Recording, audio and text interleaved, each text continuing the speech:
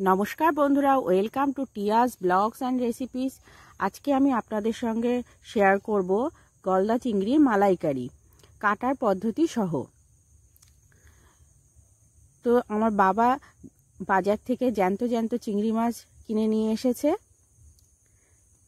তো এবার মা চিংড়ি মাছগুলোকে কেটে দেবে। তো দেখুন, মাথাটা প্রথমে কেটে বাদ দিয়ে দিচ্ছে। তারপরে মাথায় একটা নোংরা থাকে, তো সেগুলোকে কেটে ফেলে দিল। দিয়ে এবার ছোট ছোট যে পাগুলো থাকে সেগুলোও কেটে দিচ্ছে। এবার মাথার যে খোলাটা, ওইটা কিন্তু থাকবে, তার চারিপাশের যে খোলাগুলো, ওইগুলো শক্ত খোলাগুলো ফেলে দেবে।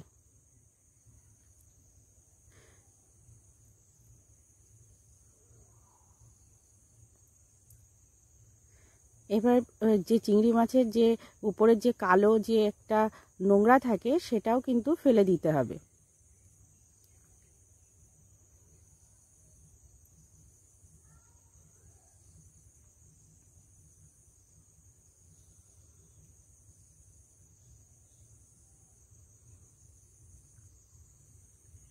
তো দেখুন, এইভাবে সব চিংড়ি মাছগুলো কেটে নেওয়া হলো।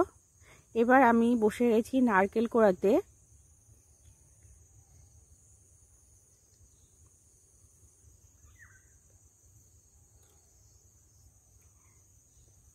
একটা নারকেল আমি কুড়িয়ে নিচ্ছি।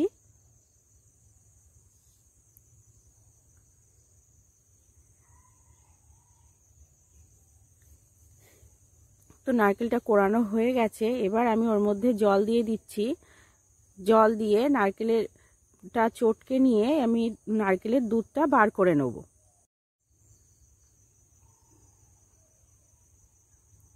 এবার আমি নারকেলের সিটেটা চটকে নিয়ে ফেলে দেব। এবার কড়াইতে সর্ষের তেল দিয়ে দেব দু চামচ মতো। দিয়ে এবার চিংড়ি মাছগুলোতে লবণ আর হলুদ মাখিয়ে নেব।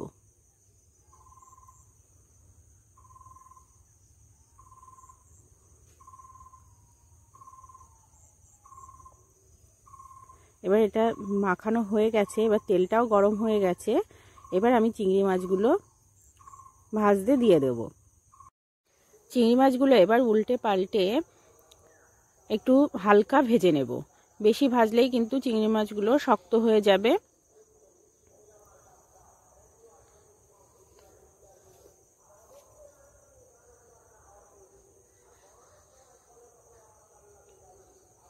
এবার চিংড়ি মাছগুলো ভাজা হয়ে গেছে, আমি অন্য পাত্রে তুলে নিচ্ছি।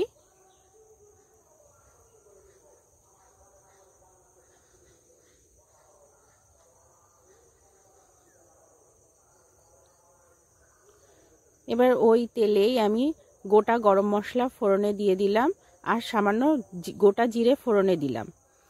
আর দিয়ে দিচ্ছি পেঁয়াজ কুচি।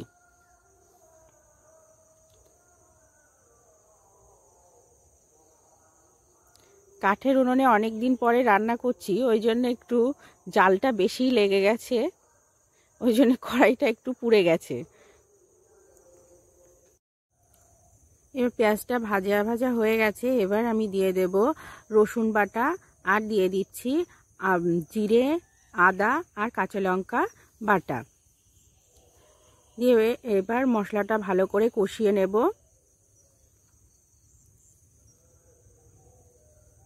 এবার দিয়ে দিচ্ছি একটু হলুদ গুঁড়ো, হাফ চামচ মতো। আর দিয়ে দিচ্ছি লবণ, স্বাদ অনুযায়ী।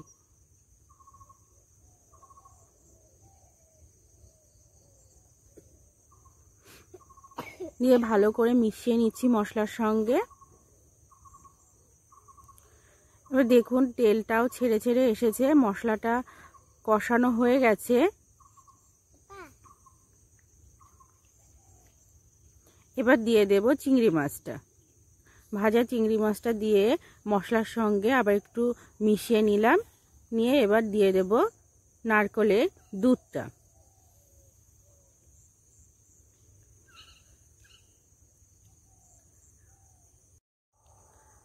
আপনারা চাইলে কিন্তু সামান্য একটু চিনি দিতে পারেন। আমার আমি দিইনি।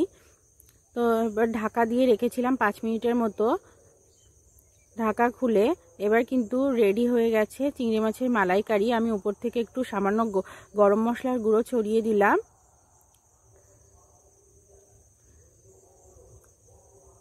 এবার মালাইকারিটা পরিবেশনের জন্য রেডি হয়ে গেছে। আমি উপর থেকে একটু কাঁচা লঙ্কা দিয়ে দিয়েছি।